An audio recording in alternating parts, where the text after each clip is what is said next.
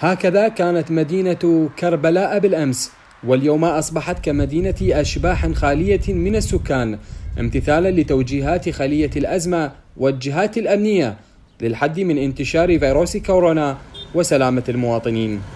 حسب توجيهات خلية الأزمة وبرئاسة السيد محافظ كربلاء المقدسة باشرت قيادة عمل كربلاء بتطبيق حظر تجوال هذا اليوم الساعة 600 يوم 22 6 2020 ولغاية سبعة أيام ترك في حظر تجوال جميع القوات الأمنية من الجيش وكذلك الشرطة والدوائر الأمنية والاستخباراتية وباقي القوات الأمنية. آه، تم التأكيد على المدينة القديمة آه، وكذلك الطوق الأول والطوق الثاني منع آه، منع منع تام داخل المدينة القديمة. وكذلك أكدنا على غلق المحلات بالكامل الساعة 1300 الساعة 1 ظهرا. وكذلك أكدنا على صيدات خارجية يمنع منعا باتا الدخول إلى داخل المحافظة. الطرف الآخر هو المواطن. الذي يلتزم تارة ويخالف تارة أخرى بسبب حاجته للتسوق وممارسة حياته المعتادة متناسيا خطورة هذا الوباء. القوات الأمنية بكافة صنوفها انتشرت منذ الصباح الباكر في جميع أرجاء محافظة كربلاء بالرغم من عدم احتساب خطورة هذا الوضع. تراهم يطبقون الأوامر لحماية أنفسهم أولا.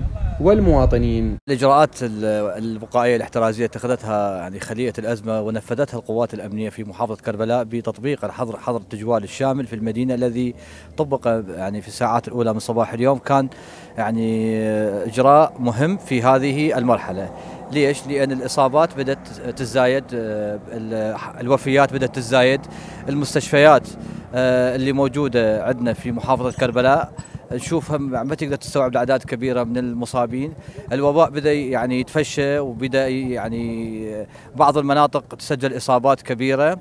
آه، أيضا أني أدعو المواطنين يعني إخواننا ويعني أبناء محافظة كربلاء بالالتزام بتوجيهات خلية الأزمة والالتزام بالحظر المنزلي والبقاء بالمنزل حفاظا على سلامتهم وسلامة عوائلهم وكذلك حتى نحاصر هذا الوباء. حسب توصيات خلية الأزمة وجه السيد قائد عمليات كربلاء المقدسة اللواء اللواء الركن قوات خاصة علي الهاشمي بأن تغلق مدينة كربلاء بالكامل حظر شامل للتجوال.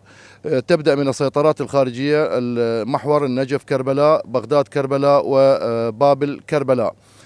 طبعا يبدأ آه، حظر التجوال الشامل من آه، الساعة 600 من يوم 22 6 ولغاية الساعة 600 يوم 29 6 تغلق كافة الأسواق والمحال التجارية بعد الساعة 1300 ظهرا. طبعا بالنسبة للسيطرات الداخلية بها استثناءات فقط للكوادر الإعلامية الصحة والقطاعات الأمنية. إجراءات أمنية مشددة بتوجيهات من قيادة عمليات محافظة كربلاء وبتوجيه من خلية الأزمة ويبقى الصراع الأوحد داخل المحافظة على التزام المواطن الكربلائي بهذا الحظر. لقناة التغيير الفضائية جاسم الهميم كربلاء.